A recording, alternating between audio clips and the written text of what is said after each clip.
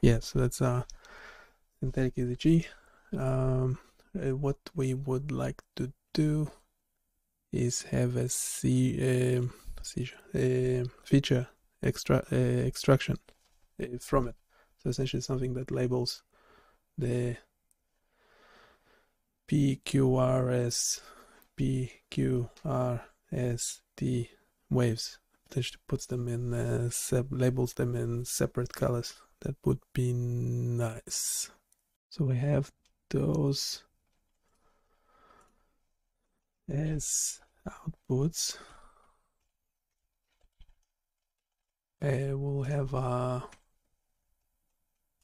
ECG chart as per usual. Different uh, waves in uh, different colors. We use American American English. None of that. You. Rubbish. Uh, P wave QRS wave ECG and we also have uh, measurements for heart rate mean PR interval time interval mean uh, ISO level mean so we could use uh, NeuroKit which actually allows simulating ECG waveforms uh, Flask so it's available for you to play with and NumPy this relevant paper. We have a scroll do we need a scroll option. Just get away with window size.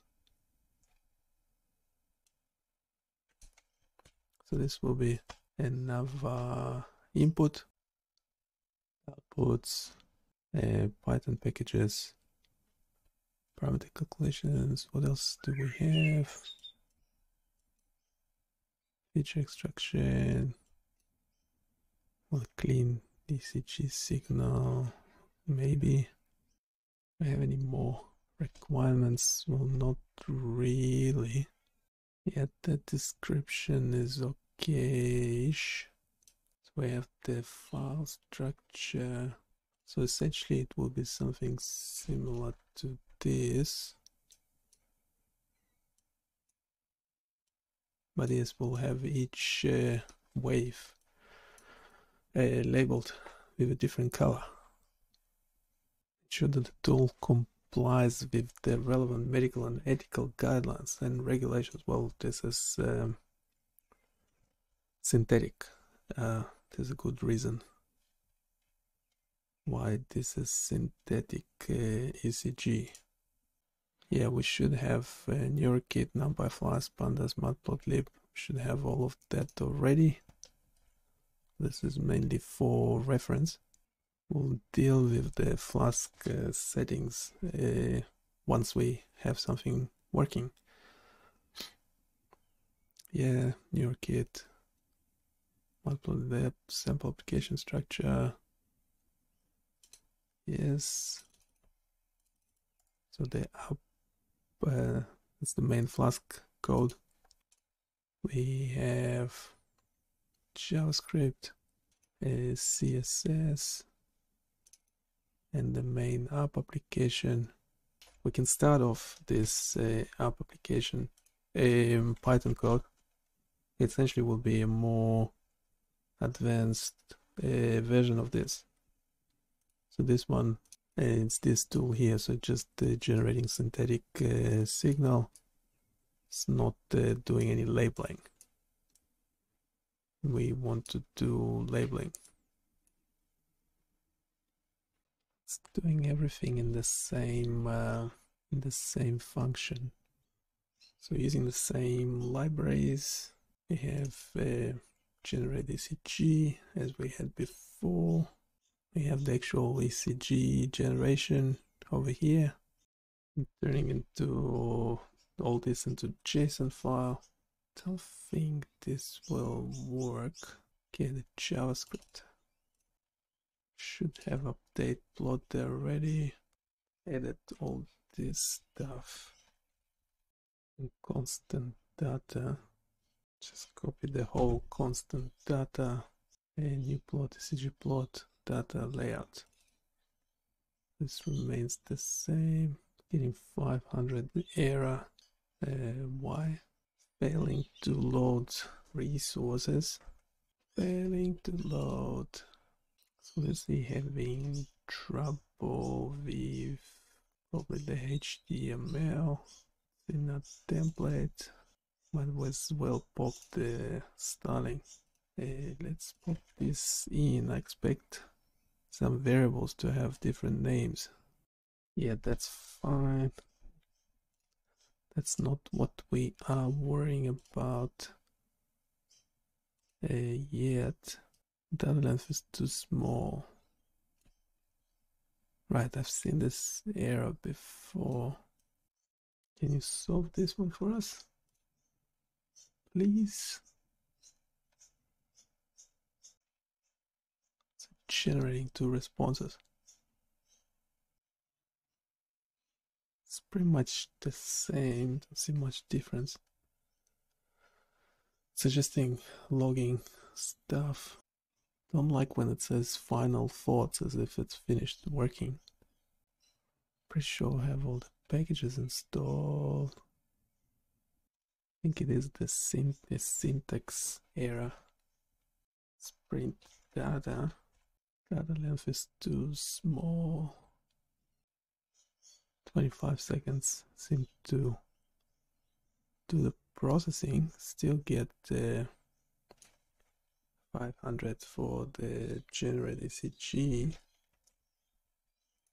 that's not cool yeah I'm pretty sure we don't actually have the ECG P wave at least not yet not sure why it's even trying to plot it not sure if NeuroKit can label individual waveforms. I don't think so. Does it even have an option to extract P wave? Pretty sure it doesn't. This is general approach for using NeuroKit. It's a nice code. Does it actually work? And let's do some testing. Suppose there's some problem with the pandas library. So I'm pretty sure a NeuroKit doesn't have an option to extract features. So I have to do it in a different way. Um, right, so this is more manual. Yeah, NeuroKit wouldn't have a automated uh, any functions extracting individual waveforms. So I have to do it manually. We have a ECG signal generator, what do we want? We want to label uh, different parts of the signal. So it's ignored everything I said in the beginning. It's actually not a Flask application, it's just uh, still testing mode. See if this works. It's surprisingly does. Okay, how did you do it? and that was quick.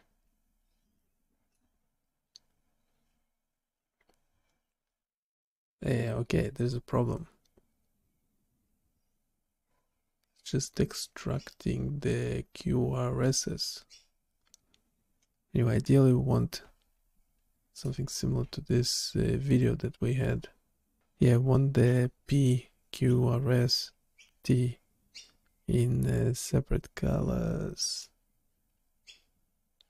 And this is something else. It's only, in this example, only QRS peak is being labeled in different colors.